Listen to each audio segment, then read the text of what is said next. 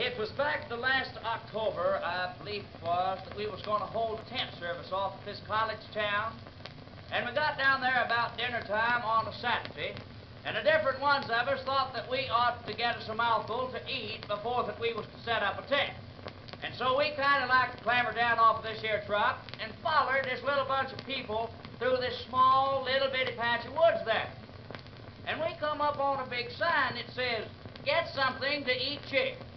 And I went up and I got me two hot dogs and a big orange drink. And before I could take a mouthful of that food, this whole raft of people come up around me, and they got me to where I couldn't eat nothing up like, and I dropped my big orange drink. Oh, I did. Well, friend, they commenced to move, and there weren't so much I could do but move with them. And we commenced to go through all kinds of doors gates, and I don't know what all. And I kind of crated back my leg just a hair, and I looked up there, and it says North Gate. And we kept on going through there, and pretty soon we came up on a young boy. He says, ticket, please. And I says, friend, I don't have a ticket. And I don't even know where it is that I'm a-going. Oh, I did. Well, he says, come out as quick as you can. And I says, I'll do her. I'll turn around the first chance to get. I did. Well, we kept on through and pretty soon everybody got to where it was that they was a-going because they parted, and I could see pretty good. I could. And what it was, yes, yes, and what it was I seen was a whole raft of people a sitting on these two banks and a looking at one another across this pretty little green cow patch. Well, they was. They was. And somebody had took and drawn white lines all over it, and they drove posties in it, and I don't know what all. And I looked down there, and I seen five or six convicts a running up and down a blowing whistles. they was. Well, then I looked down there again, and I seen these pretty girls a wearing these little short dresses and a dancing around, and so I thought I'd sit down and see what it was that was going to happen. I did. And about the time that I got set down good, seen 30 or 40 men of running out of one end of a great big outhouse down there. oh, they did. And everybody where I was a sitting, they got up and hollered.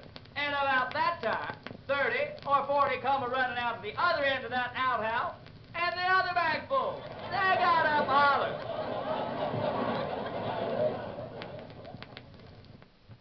Well, then I turned and I asked this feller that was a sitting beside me, I says, friend, what is it there's a hollering for? Well, he whopped me on the back and he says, buddy, have a drink. and I says, well, I believe I will have another big orange. well, I got it and I sat back down. When I got down there again, I seen that them men had got the two little bitty bunches down there. They had, real close together, and then they voted. They did. Oh, they did. They voted and elected one man apiece, and them two men come out in the middle of that there cow pasture, and they shook hands like they hadn't seen one another in a long time. And then a convict come over to where they was standing, and he took out a quarter, and they commenced to odd man right there. They did. Well, after a while, I seen what it was that they was the odd man first. It was that both bunches full of them men wanted this funny-looking little pumpkin to play with. They did. Oh, yes, they did, and I know, friend, that they couldn't eat it because they kicked it the whole evening, and it never busted. But uh, anyhow, what it was I was telling was that both bunches full wanted that thing, and one bunch got it, and it made the other bunch just as mad as they could be. And seen that evening the awfulest fight that I've ever seen in my life. Oh, I did. Why, they would run at one another and kick another around and throw another one down and stop one another and grind their feet into one another and I don't know what all. And just as fast as one of them would get hurt, well, they'd tote him off and run another one off. oh, yes, they did. Well, you know, they done that as long as I sat there, but pretty soon this boy that had said, ticket please, he come up to me and he said, friend, you're going to have to leave because it is that you don't have a ticket. And I says, well, all right. Then I got up and I left.